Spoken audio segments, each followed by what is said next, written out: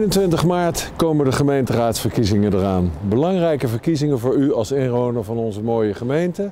En ik heb hier positie gekozen voor ons zeer markante gemeentehuis.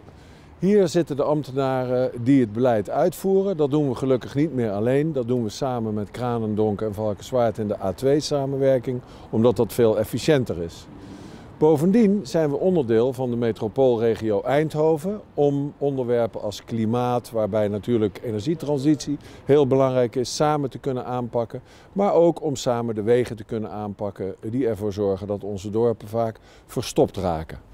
Nou, daarvoor is natuurlijk goed daadkrachtig bestuur nodig. En goed daadkrachtig bestuur dat rust op een brede steun uit de bevolking, wat tot, uh, tot uitdrukking komt doordat ze eh, steun hebben in de gemeenteraad. Op dit moment is dat helaas niet het geval, want in onze gemeenteraad zitten maar acht leden die deel uitmaken van de coalitie.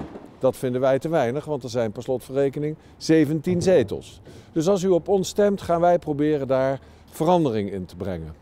Al deze kleinere politieke partijen zijn het op hoofdlijnen met elkaar eens. En over die hoofdlijnen willen wij tot een akkoord komen voor een grote steun in de Raad. Daarna is het zaak de best geschikte bestuurders daarbij te zoeken. Stem daarom 21 maart op D66 en geef ons de kans dat u te bewijzen.